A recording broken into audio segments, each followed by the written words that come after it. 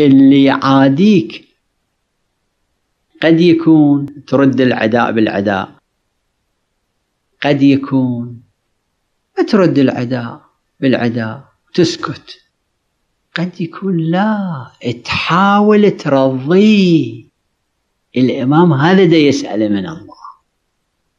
أنت ما معادي هو بدأك. أنت راضي ليش؟ لأن ذاك عمل المعصية. عاداك سبك. ليش تخلي فد واحد مؤمن مسلم قريب غريب صديق؟ بسببك يدخل إلى النار. حاول تقربه إلى الله. أنت أطفئ النار. أنت استبق. وفي تواريخ أهل البيت عليهم الصلاة والسلام قصص كثيرة في هذا المجال. ومنها هذه القصة المعروفة أن الإمام السجاد عليه السلام كان قاعد ويا مجموعة من أقرباء أصحابه. اجى واحد. دخل على الإمام وسبه وشتمه. الإمام السجاد مو أنا وأنت.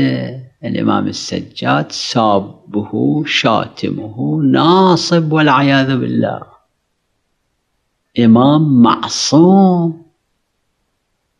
خلق الله كل شيء لأجل هؤلاء. هذا اللي يسب الإمام السجاد هو مخلوق بسبب وجود الإمام السجاد. هو ما يدري ذاك بس الإمام السجاد خو يدري هذا.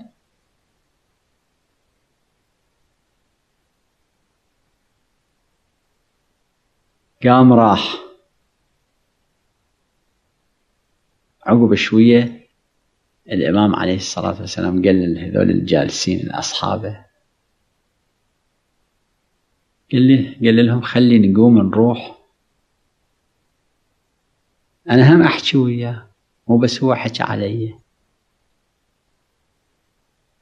بعض من كان عند الإمام عليه السلام يجوز جديد المعرفة بالإمام ما يعرف الإمام السجاد.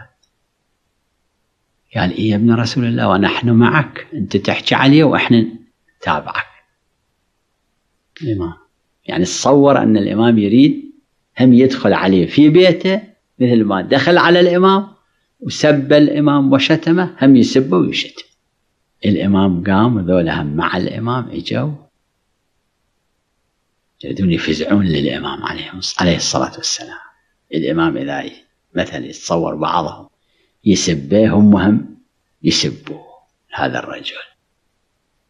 في الطريق الإمام من ديجي جعل يتلو هذه الآية الكريمة والكاظمين الغيظ.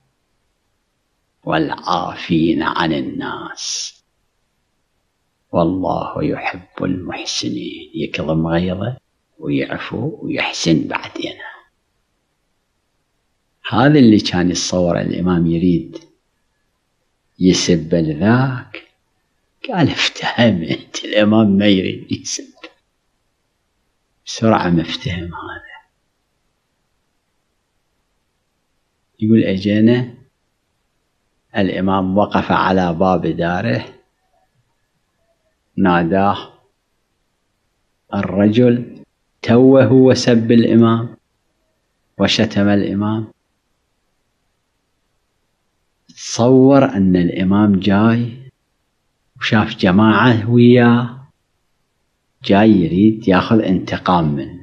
استعد وجمع جماعة اللي بالبيت وطلع وهو مغضب. الإمام قال له يا فلان أنت الآن إجيتنا وذكرت ما ذكرت. إن كان هذا اللي ذكرت صدق أسأل الله أن يغفر لي. إذا لا مو صدق وإنت كذبت علي أسأل الله أن يغفر لك. الإمام غير 180 درجة.